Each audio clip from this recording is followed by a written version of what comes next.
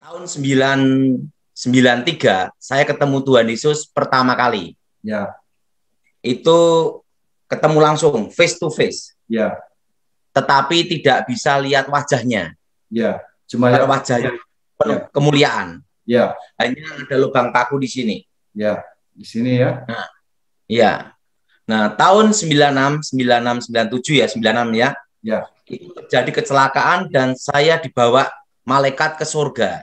Ya, Dan waktu itu saya melihat saya roh saya dibawa dan sebelum menghadap yang maha kuasa, ya. saya harus masuk dulu satu ruangan yaitu ruang maha kudus. Roma Kudus. Ya, Saya sudah pernah masuk ke situ luar biasa ya. Melihat tabut perjanjian yang asli. dan saya melihat tabut perjanjian Ya, dan malaikat itu berkata, apa yang dilihat Musa tentang tempat tentang kemah suci ya. adalah gambaran dari tempat itu. Iya, oke. Jadi yang aslinya itu di surga. Aslinya di surga. Oke. Nah, sedangkan Musa membuat contohnya itu dari sana gitu loh. Iya, Nah, di situ saya langsung dibawa menghadap yang maha kuasa. iya, Nah, dan yang maha kuasa berkata, akulah aku YHWH, Yahweh. iya, Dan aku telah mati, bangkit hidup kembali, akulah Yesua Hamasia. iya, Nah, di situ saya ditunjukkan apa yang akan terjadi. Jadi sebenarnya, Bu, Ya. apa yang akan terjadi atas dunia ini Ya. dari awal sampai akhir itu sudah ada di sana. Oh gitu. See. Jadi itu seperti kayak grand design-nya sudah ada semua. Iya, Jadi gini, bahwa waktu itu ditunjukkan bahwa ang- Indonesia itu dipulihkan Tuhan 25 tahun. Dimulai dari krisis 98. Dan pemulihan Indonesia itu adalah 25 tahun yaitu tahun 2023. Setitik terang datang. Setitik loh. Nah, tetapi sebelum pemulihan Indonesia akan terjadi krisis ekonomi, resesi ekonomi. Oke. Anginnya akan anginnya akan datang 2018. Anginnya 19 2019 dan badainya 2020. Hmm. Dan Indonesia akan mengalami stagnat ekonomi, ekonomi berhenti, tidak maju, tidak mundur. Oke. Itu bulan 6, bulan 7. Tahun Dan- 2020. 2020. Stagnat ekonomi dan akan menuju tahun 2023 Oke. setitik terang datang. Nah, pada waktu 2018-19 saya khotbahkan itu saya ditentang banyak orang. Dikatakan saya orang gila, halusinasi. Karena tidak ada dasar hukum ekonomi yang mendukung. Tidak ada dasar untuk bicara seperti itu. Saya dikritik berbagai kalangan. Ya, Karena tahun 2019 semakin saya gencar khotbah tentang 2020 akan terjadi resesi ekonomi, Indonesia stagnat ekonomi. Nah, itu ditentang habis-habisan karena banyak yang bernubuat. Oke. Tahun 2020 tahun berkat, tahun mujizat, tahun kelimpahan. ya, Saya hanya seorang diri yang berkhotbah tahun depan 2020 resesi ekonomi, stagnat ekonomi, badai ekonomi datang. hmm. Nah, sampai Pak Gilbert dikritik berbagai hal. Oh, Nah, Januari 2020 Pak Gilbert berkata, Daud kan khotbah 2020. Ini kan baru Januari awal. Hmm. masih belum Kita kelihatan. lihat dulu akhir Desember 2020. Oh, Nah, Januari Februari saya ditentang habis-habisan. Bulan Maret corona, hmm. April corona dan bulan 6 bulan 7 Indonesia stagnat ekonomi, PSBB ya, dan di berbagai tempat dunia lockdown. Ya. Dan ini nanti jadi petunjuk akan saya sampaikan suatu rahasia penting karena ada hal-hal tertentu yang saya tidak boleh memberitahu ke semua orang. Oh. Yaitu apa? Hal-hal yang sangat rahasia. Ya. Nah, termasuk tentang kematian saya. Oh, Tuhan kasih tahu juga kematian empat itu, Tony. Iya. Oh. Jadi sekarang saya sudah hanya tinggal men menjalani hidup aja. Ya. Jadi dari awal sampai akhir itu sudah ada. Oh. Nah, di situ ditunjukkan suatu rahasia yang penting sekali. Ya. Dan ingat, Ya. di sorga saya ketemu seseorang. Saya ketemu dua orang. Ya. Siapa itu? Dan itu Tidak saya rahasiakan. Oh. Ya. Kenapa orang itu Dan- ada memberitahu sesuatu? Iya, karena dua orang ini belum pernah mengalami kematian. Oke, oke, saya ngerti. Musa dan Elia. Ya. Ya. Eh, dua orang ini belum pernah mengalami kematian. Hmm. Musa mengalami kematian. Oh ya, cuma mayatnya nggak ditemukan. Ya, Saya ketemu dua orang ini di sana. oke. Dan hal-hal rahasia diberitahu ke saya. Oh, Nah, tapi saya tahu kalau saya memberitahu tentang dua orang ini yang pernah saya ketemu di sana, akan terjadi pro dan kontra dan ribut. I see. Maka lebih baik saya diam dan rahasia itu tetap dalam hati saya. Apakah rahasia itu kelak akan dibukakan ke orang, ke kita, atau akan dibawa sampai pada kembali itu ketemu Tuhan? Saya belum tahu. Oh, belum dibilangin ya? Jadi dua orang ini belum pernah mengalami kematian. Oke, Dan dua orang ini berdiri di hadapan Elohim. Di hadapan Yahweh. Dan dua orang inilah yang bertemu saya di sana. Oh wow, Dan malaikat menjemput saya itulah yang mengenalkan dua orang ini. oh Nah, di situ baru Tuhan ajak saya ke tempat di rumah Bapakku. Jadi banyak hal-hal yang rahasia yang saya tidak boleh sampaikan. ya, Nah, makanya tiga tahun sebelum tahun 2020, saya sudah siapkan perkebunan dulu ya, untuk menghadapi badai ekonomi yang akan datang. ya, Untuk menghadapi badai ekonomi yang akan datang. Nah, jadi gini, ini masa yang akan datang, yang saya boleh membuka rahasianya. ya, Bahwa nanti tahun 2022, Hmm, kita semua baru belajar normal. 2022. Sekarang dua, sekarang April 2021. Berarti satu setengah tahun lagi itu. Dan hal ini sudah saya khotbahkan tahun 2020. Sekarang Waktu itu, Ya. waktu itu banyak orang prediksi corona itu November 2020. oh Tetapi kan saya sudah melihat grand design di sana. ya Apa yang akan terjadi? Oke 2022 itu baru belajar normal. hmm. Kalau 2021 ini kan namanya new normal. ya Nah, dan ingat petunjuk rahasia yang berikutnya yaitu apa? Bahwa corona ini nanti akan bermutasi berbagai macam. Lima tahun ke depan. Puncaknya corona ini akan error. maksudnya error bagaimana Error, virusnya jadi error.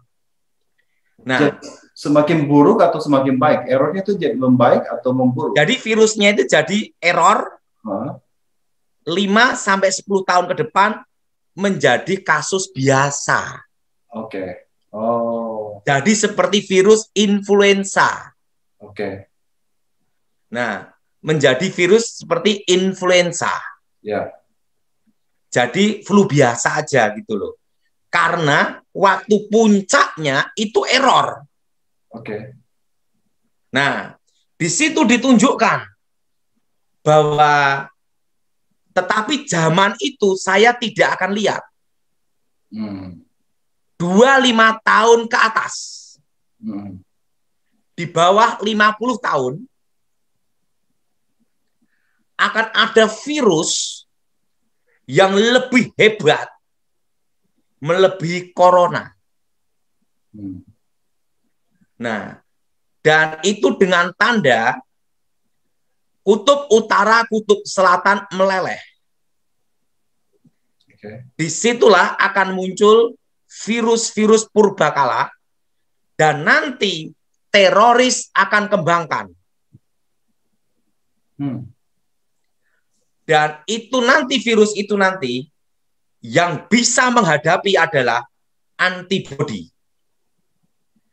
Di situ Tuhan tunjukkan cara untuk antibodi itu untuk menghadapi virus yang akan datang.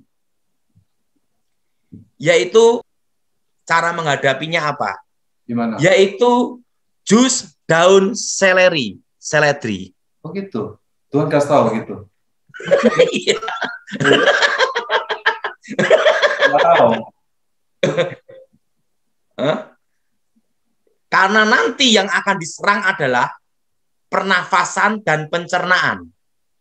Hmm, sama juga dong. Tapi di corona ini bukan pencernaan, kebanyakan pernapasan.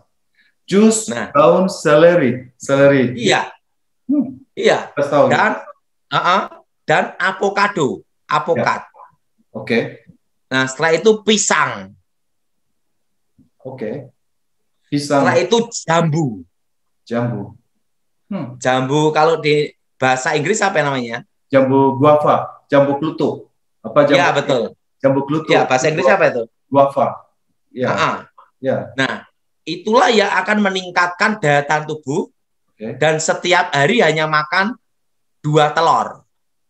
Hmm, Nah, jadi nanti virus itu akan akan ada namanya di rekayasa genetika oleh teroris itu 25 tahun ke atas.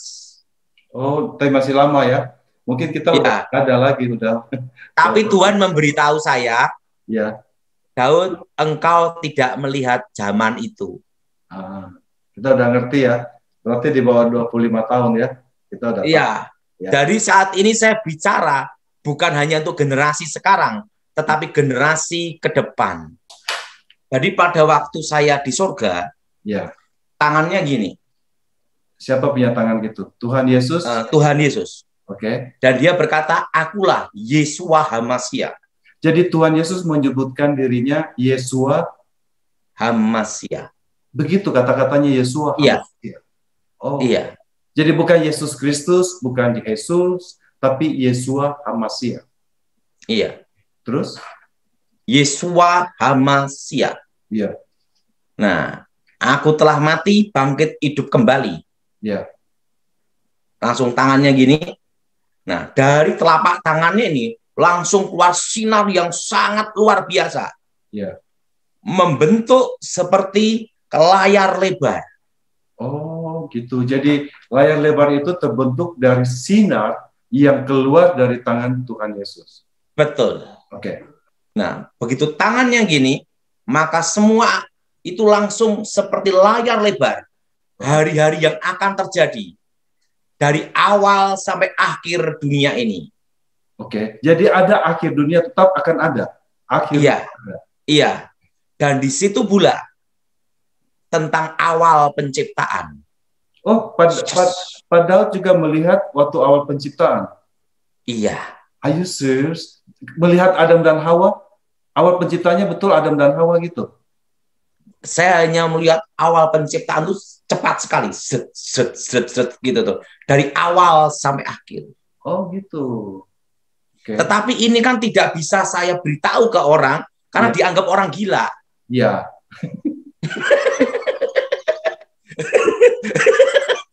Know. Ya. Nah, di situ pula dari awal penciptaan Ya.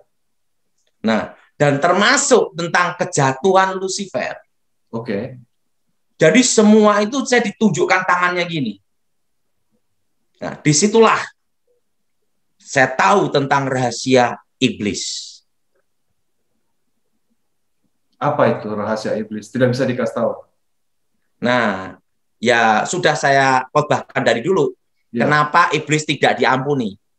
Oh, kenapa iblis tidak diampuni? Iya. Nah, di situlah tangannya gini. Hari-hari akan terbentuk. Yes, gitu. Itu dari awal sampai akhir dunia. Hmm. Dan dua manusia ini yang menemani saya di situ. Hmm. Henok dengan itu, dengan Elia tadi ya. Ya, Tapi saya tidak mau menjawab. ya. Yang jelas, dua manusia ini tidak pernah mengalami kematian. Ya, ya. Dan mereka bicara kepada saya, menjelaskan semuanya. Hmm. Nah, Caranya pakai bahasa mereka, tapi Pak Daud bisa mengerti. mengerti. Bukan bahasa Indonesia, bukan bahasa Chinese, bukan bahasa ini. Bukan. Tapi Bahasa surga. bahasa surga. Tapi kita bisa mengerti. Ya, Iya. oke. Saya ngerti itu. Nah, nah. Jadi dari tangan itulah keluar sinar membentuk grand design Oke. dan awal penciptaan Oke. dan sampai akhir dunia. Nah, dan di situlah baru saya mengerti yang disebut zaman akhir dan akhir zaman. Oke. Nah, zaman akhir itu adalah apa? Pada waktu anak Allah menyatakan dirinya, Allah datang ke dalam dunia, Yesus datang ke dalam dunia pertama kali menjadi manusia. Iya. Nah. Itu namanya zaman akhir. Oh, jadi 2000 tahun lalu itu pada Natal di kandang Bethlehem itu zaman akhir. Iya, Nah, yang akan waktu kiamat apa namanya? akhir zaman. Oh, gitu. akhir akhir zaman. Begitu. itu bahasanya yang diberikan oleh Tuhan waktu itu. Nah, waktu Ini itu saya diberi hikmat. Ya, Hmm? ini kan bahasa Indonesia, zaman akhir, akhir zaman, kan? Tapi waktu bahasa itu bagaimana? Gimana ngomongnya? Nah, akhir zaman itu namanya kiamat. Oke, ya. Jadi kita harus bedakan di sini antara zaman akhir dan akhir Zaman. itu ya. betul. Hmm, Iya. Nah, Alkitab berkata apa dalam kitab Yoel? Eh, Pada hari-hari terakhir, betul? ya, anak-anakku akan bernubuat, anak-anak muda Nah, akan bernubuat. Itu pada waktu Petrus berkhotbah Ya, dan dikat, mengutip ayat itu, betul? ya. Waktu hari Pentakosta itu kan setelah ini dia berdiri dan berbicara Hmm. dan ribu orang bertobat itu. Itu bicara apa? Pencurahan Roh Kudus zaman akhir. Oke. Jadi zaman akhir itu udah dari 2000 tahun lalu bukan sekarang. Zaman akhir. Zaman akhir. Ya, Nah, hari-hari terakhir. ya. Kalau dalam, karena saya ngertinya kan bahasa Indonesia. Oh, gitu. Jadi mereka menjelaskan tentang bahasa Indonesia juga gitu loh. Oh, asik. Nah, dua manusia ini. Nah, akhir zaman sama zaman akhir itu beda. Oh, gitu ya. Biasa kita satu ya. Itu beda. Nah. Kalau zaman akhir itu adalah di mana Allah menjadi manusia, firman menjadi manusia, Yesus Kristus mati di salib. Ya, oke. Oke, Kedatangan Tuhan yang pertama. ya. Nah, akhir zaman itu zamannya berakhir. Oke.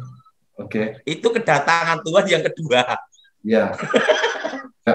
Jadi sekarang jadi waktu itu sudah ditampilkan menurut Pak Pak Daud apakah corona COVID ini itu adalah uh, kan saat ini kan dibilang bahwa gara-gara itu orang harus pakai vaksin dan vaksin itu membuat orang pakai tanda 66 sehingga mereka pakai tandanya antichrist. Kalau Pak Tony sendiri, Pak Daud sendiri akan divaksin atau tidak? Tidak. Gitu. Oke. Kenapa, Pak Daud? saya mau tahu karena yang bisa menghadapi antibody. Oh, jadi pakai. Daya tahan tubuh. Oh. Jadi divaksin atau tidak itu tidak ada masalah. Ini tidak ada hubungan dengan antikris. Hmm, tapi tidak ada hubungan dengan antikris ya. Vaksinnya tidak ada ya. ya. Ya, tidak ada. Ya. Karena apa? Antikris itu dari dulu sudah muncul di mana-mana gitu loh. Oh. Tapi antikris yang sebenarnya kan belum muncul. Hmm. Yang sekarang yang kecil-kecil. Jadi gini loh, bagi saudara yang divaksin tidak usah ribut. Ya saudara yang tidak divaksin, tidak usah ribut juga. Karena gini, lima tahun ke depan semua akan terkena terpapar. Hmm. Hanya menunggu waktu. Hmm. Nah, semua akan terpapar, tapi masalahnya siapa yang punya antibodi yang itu, yang bertahan. Seperti yeah. anak darah, semuanya juga harus ini mau masuk, tapi yang mempunyai cadangan minyak yang bisa masuk ke dalam party. Jadi gini, ya. Saya selama ini belum pernah cerita ya. langsung ke orang lain tentang dua orang yang pernah ketemu saya di sana. Oh gitu. Oh enggak pernah cerita ini. Karena apa? Karena kalau saya bicara ini, saya akan ditentang habis-habisan, dianggap lebih gila lagi. Oke. Okay.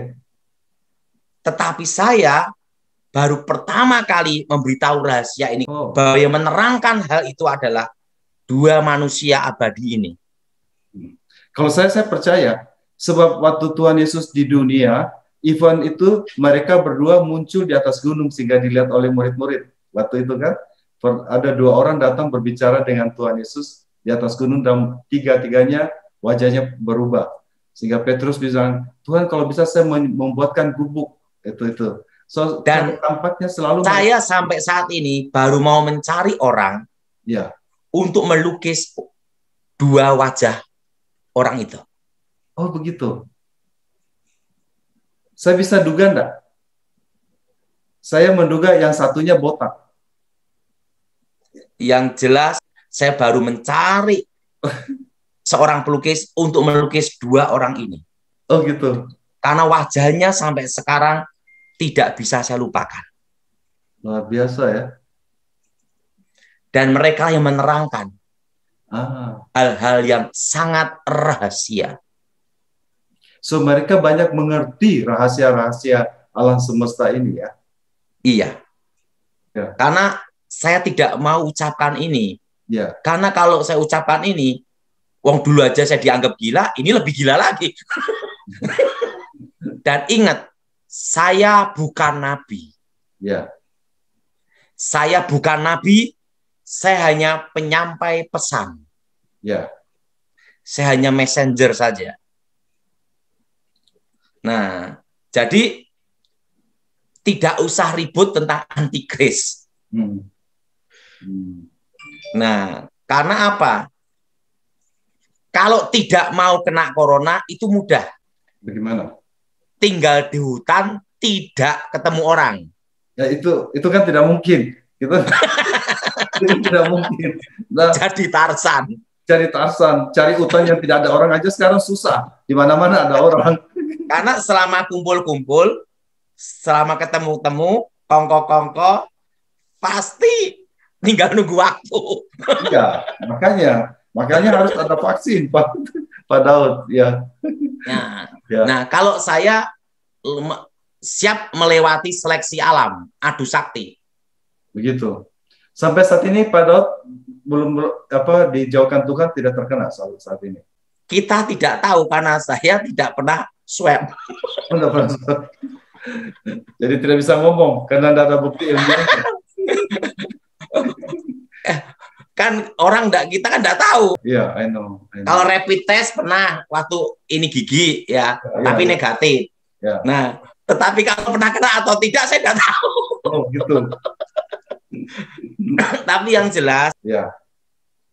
saat ini saya hanya menunggu hari Tuhan menjemput saya. Oh gitu.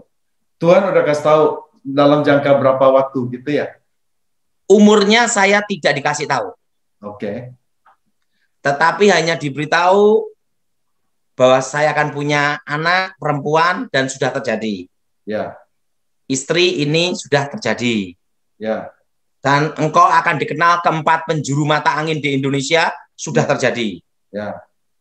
Saya, saya akan gemuk. Nah, ini perutnya buncit sudah terjadi. ya. Ya. Jadi kalau itu, kalau itu mah tidak tidak luar biasa. Gemuk itu semua orang gemuk saya juga gemuk Pak Daud. Tidak bukan satu bukan tanda yang ini. Apakah Pak Daud akan bisa melihat sempat melihat anaknya menikah atau enggak itu yang merupakan tanda juga kalau itu itu saya tidak dikasih tahu. tidak dikasih tahu. ya? Tapi yang jelas saya menunggu pengganti saya. Hmm. Jadi seperti Elia dan Elisa ada ada yang mendapat jubahnya gitu. Lagi Karena nanti waktunya tiba akan ada seorang anak muda ya, yang akan memegang tongkat estafet oke. dan akan dipakai Tuhan lebih hebat melebihi saya. Oh gitu. Pak, Nah, sudah ketemu atau belum Pak Daud? tenang aja. Masih Tuhan lagi persiapkan ya. Iya.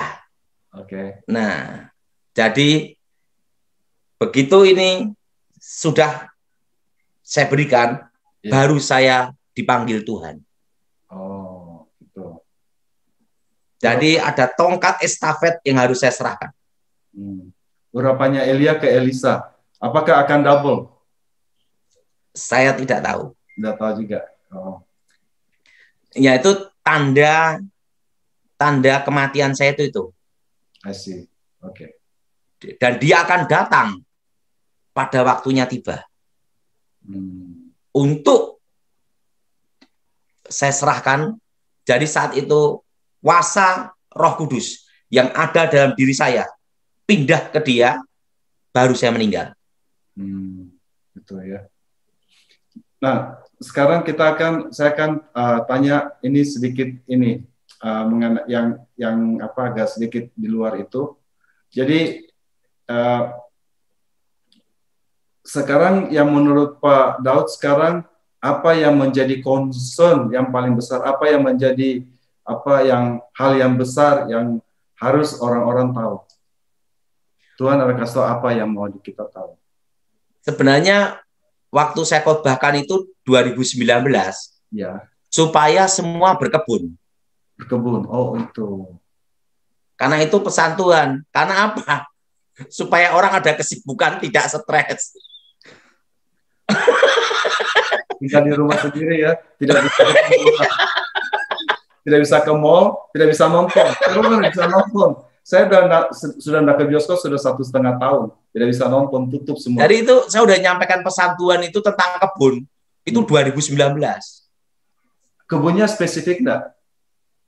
Kebunnya itu adalah sayur-sayuran, buah-buahan.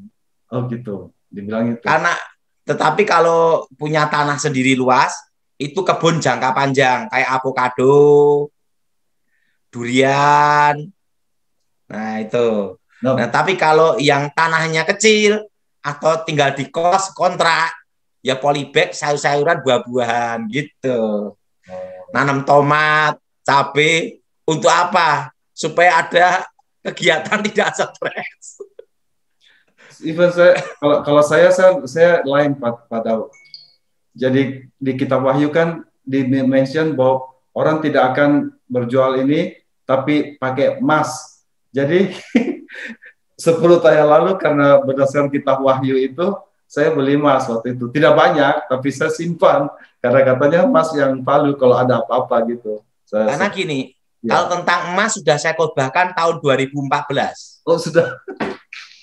Ya, Waktu itu saya berkata supaya nyimpan tanah dan emas ya? itu 2014 sudah saya khotbahkan. Oh, gitu. Karena nanti Indonesia akan mengalami inflasi Mm-mm. Mm-mm. dan bulan April tepatnya tahun 2021 akan terjadi deflasi inflasi bertemu. April 2021 sekarang nih. Iya, Kemudian yaitu apa? Daya beli masyarakat turun, ya, harga naik, tapi siapa yang beli? ya, ya, ya. Itu Aduh, sudah saya khotbahkan 2020.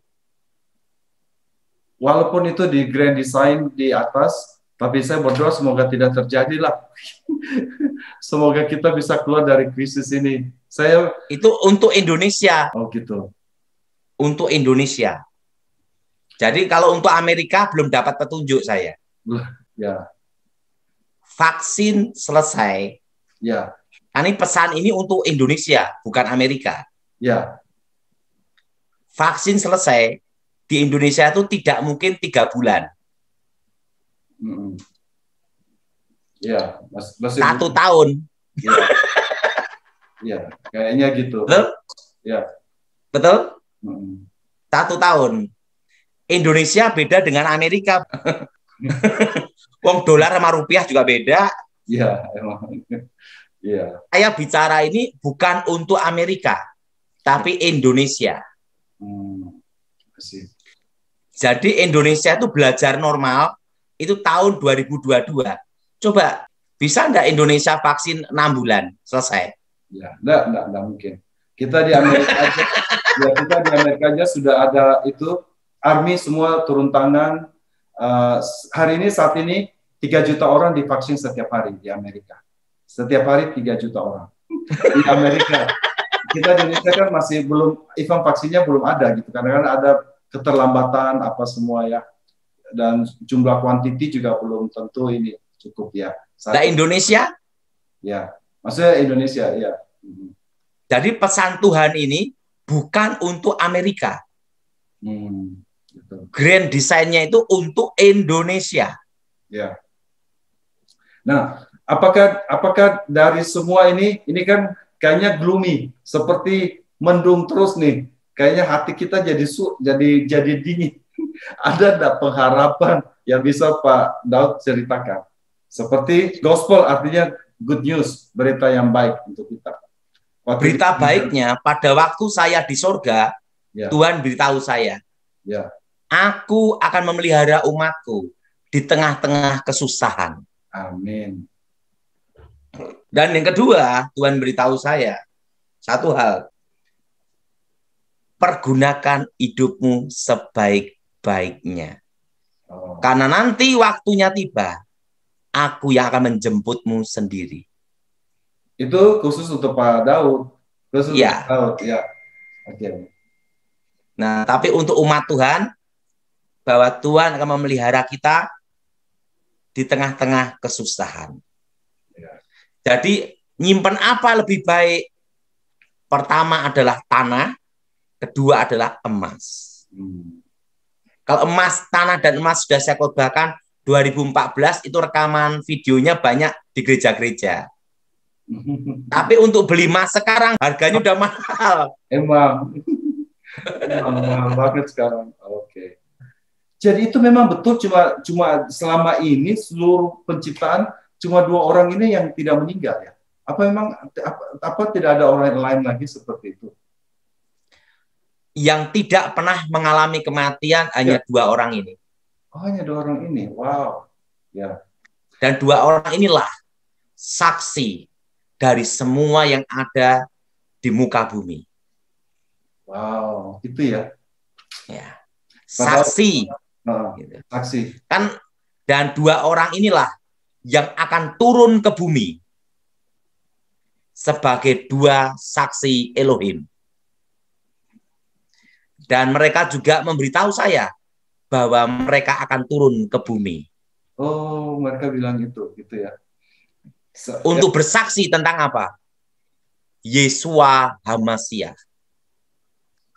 Mereka akan turun dan bersaksi tentang Yesua Hamasia dan menghentikan hujan selama tiga tahun dan merubah air menjadi darah.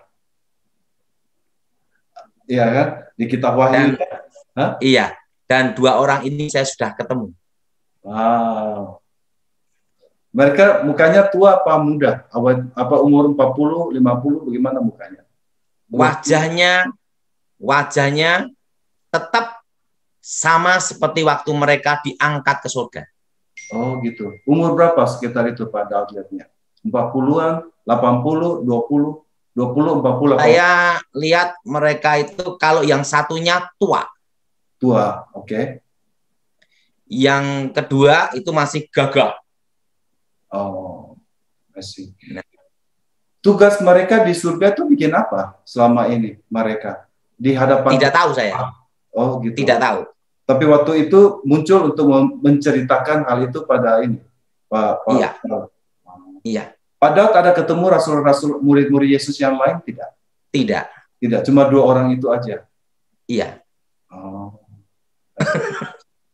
Hmm. Jadi jadi rupanya memang kedua orang ini mempunyai tugas yang sangat spesial, selalu masuk di dalam rencana Tuhan. Even di dalam kitab Wahyu kan diceritakan bahwa dua orang ini akan turun ke dalam dunia dan menghentikan hujan tiga tahun. Wow, menghentikan hujan tiga tahun di dunia ya, gitu. Jadi dua orang inilah yang beritahu saya.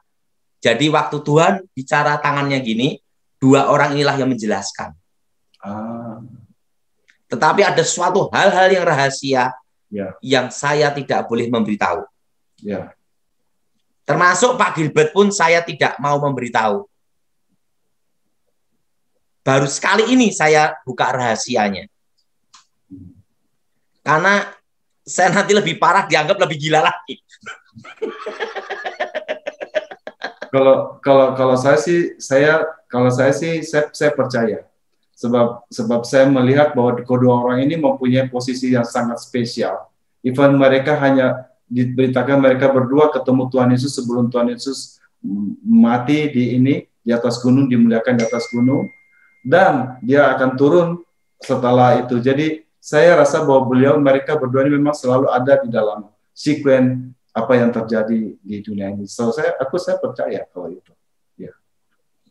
Jadi Ya, saya baru mencari pelukis untuk melukiskan wajah dua orang ini. ya, Yang satu sangat tua, hmm, yang kedua gagah. Dan mereka wujudnya tetap sama seperti waktu mereka diangkat. ya. Oh. Pakai tut ada tutup kepalanya atau kepalanya terbuka? Saya lihat hanya rambut mereka itu bersinar, bercahaya. Dua-duanya, dua-duanya ada. Iya, iya. Tapi mukanya bersih. Oh, Dan mereka bicara dalam suatu bahasa. ya, Dan itu adalah bahasa surga. ya. So, oke, jadi ada beberapa poin yang yang saya bisa catat untuk kita share teman-teman ya. Tentu kita punya discussion ini ada yang akan terima, tapi tentu juga ada yang tidak terima. Kita ini, tetap kita Iya. hormati pendapat orang, ya. Orang kan berhak untuk Iya. berpendapat, of course. Hmm. Tapi tetap, tapi juga yang tidak ada salahnya kita berjaga-jaga, ya. Untuk uh, makan seperti daun seleri, pisang, apokat, uh, apa seleri, pisang, apokat seperti kata Pak Daud. Saat ini di Amerika kita uh, saya pakai jus seleri memang untuk menurunkan tekanan darah tinggi karena saya ada tekanan darah tinggi. So it's a good, it's a healthy one. Pisang itu bagus untuk untuk jantung karena mengandung potasium yang bagus juga. Dan apokat memang itu bagus untuk saya karena apokat itu adalah fatty apa lemak yang baik. Itu untuk kolesterol. Dan kebetulan ketiga-tiganya itu saya ada. Saya terlalu kaya dengan itu. Saya ada kolesterol, ada diabetes, ada darah tinggi. Jadi tiga-tiganya berfungsi untuk saya. Satu untuk seleri, satu untuk kolesterol itu untuk apokat dan apa dan darah tinggi ya dan fatty liver. Saya dengar saya harus disuruh makan apokat. So I, so I think it's a good thing. Kayaknya tiga penyakit ini menjadi raja di Amerika saat ini. Jadi banyak sekali di Amerika ini orang kena diabetes, darah tinggi, katanya orang penyakit orang kaya. Negara makmur itu penyakitnya itu. Darah tinggi, kolesterol, uh, apa diabetes gitu. Dan tiga ini not bad, itu memang merupakan apa fruit yang dianjurkan oleh dokter-dokter kita. Ya. Tambah satu Jadi lagi. untuk Hah? untuk menghadapi itu adalah dengan antibodi. Ya. Hmm. Dengan Jadi vitamin D, ya. Matahari. jadi saya sendiri akan melewati ini semua. Ya. Hmm. Jangan ditanya, padahal vaksin tidak. Terus terang tidak. Kenapa? Eh, saya menghadapi adu sakti. ya, tapi tidak yang semua. kalah mati, yang menang hidup. Jadi silahkan kalau yang vaksin silahkan. Ya, betul, betul. Ya, Jadi tidak usah diributkan. ya, amin. Saya sendiri hanya menanti waktu memberikan tongkat estafet. Aksi. Tunggu untuk ini ya. Hmm. Seperti Elia memberikan pada Elisa. Oke. Terima kasih Pak Daud untuk waktunya. Ya, sudah ini. Uh, Kita doa ya. ya, lain kali kita akan cerita-cerita